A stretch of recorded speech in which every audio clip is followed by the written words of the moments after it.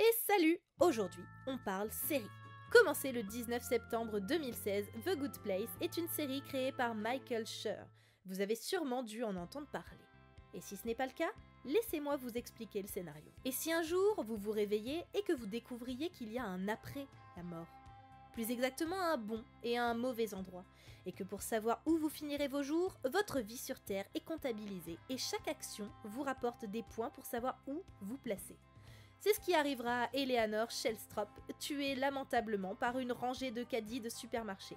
Elle se retrouve dans le paradis de l'élite, réservé uniquement aux meilleurs êtres humains, pour son travail d'avocate luttant contre la peine de mort et construisant des orphelinats au Bangladesh. Sauf qu'elle n'est pas cette Eleanor, trop occupée à exercer son égoïsme sur les autres en vendant en toute connaissance de cause des médicaments inefficaces à des personnes âgées pour se faire de la thune. Tout est prévu au bon endroit sa vie, sa maison, son métier et même l'homme de sa vie. Un monde un peu trop, tout le monde il est beau, tout le monde il est gentil. Par la suite, pour ne pas se faire griller par les autres, elle se fera aider par un professeur d'éthique et de morale pour rentrer dans le moule de la crème de la crème qui lui sert de voisin.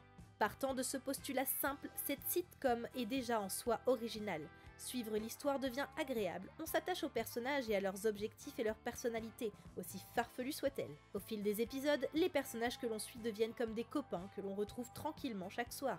Le scénario est étonnant, dynamique et plein de bonnes idées, et aborde mine de rien des sujets qui ne peuvent que nous toucher. L'amélioration de soi et de son rapport aux autres, le tout avec une bonne dose d'absurde, mais sans jamais tomber dans la mièvrerie totale. Série sympathique qui nous tient en haleine, The Good Place reste une série à grignoter comme un petit bonbon acidulé et qui vous réserve quelques plot twists dont vous m'en direz des nouvelles. À demain